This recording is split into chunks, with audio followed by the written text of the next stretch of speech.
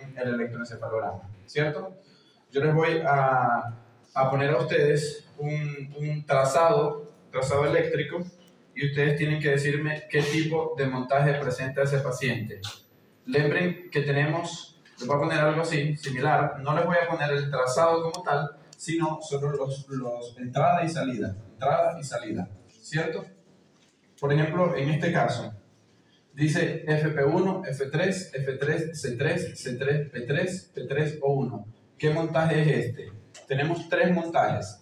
Tenemos un montaje longitudinal, un montaje transversal y un montaje referencial. ¿Está bien?